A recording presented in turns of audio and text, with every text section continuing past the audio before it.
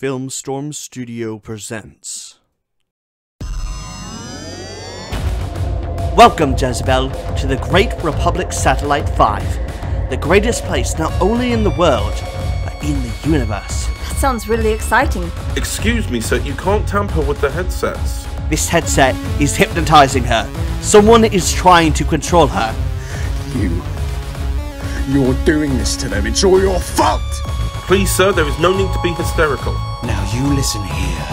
I am the CEO over this company. No, no, no. This is bad.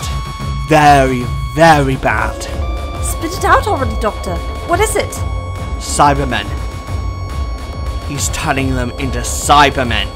Halt! Remain where you are. You will be eradicated.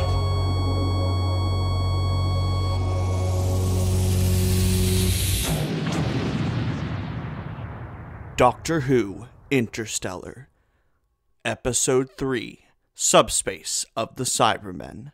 Coming to YouTube on May 20th at 2 o'clock p.m.